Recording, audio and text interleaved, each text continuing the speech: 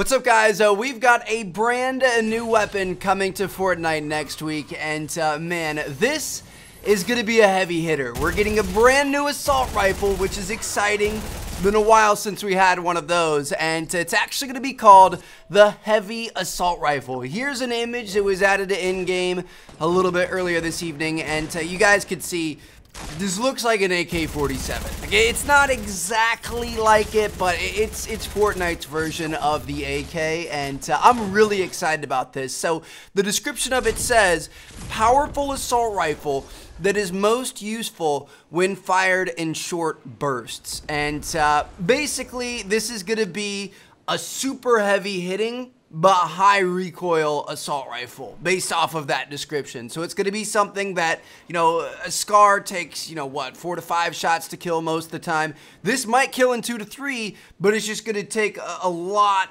of aiming and, and, and, you know heavy recoil to, to make that happen you know what I mean so you're, you're gonna have to really kind of feather the trigger make sure those shots are on target if you end up spraying it at you know short to medium long range it's probably not going to work all that well. So it's going to be kind of a, a, interesting specialty weapon. I'm actually really, really excited for it.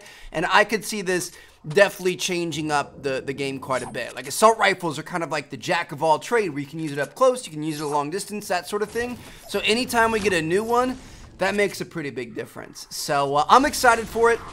Expect it to come out next week in uh, in the update. Could be on Tuesday, could be on Wednesday, could be on Thursday. We'll have to wait and see when it actually comes out. There's one other thing that Fortnite made an announcement about today, and that's the fact that the recent change they made to explosives, where they were doing 25% of damage through walls, has now been reverted. So uh, it's back to normal. They no longer do damage through walls. And uh, when I first heard of this, I was like, hey, that's not a bad idea because, you know, typically explosive, like through a wood wall, they would do damage to somebody on the other side. So it kind of makes sense from a, a realism standpoint. But really the problem was, like, in the gameplay, there was no counter to that. Like everything in games needs to have like an action and a reaction. You've got to have something and you've got to have something to be able to counter that to make things fair. And and the problem was is that people were just spamming RPGs and grenade launchers and stuff like that.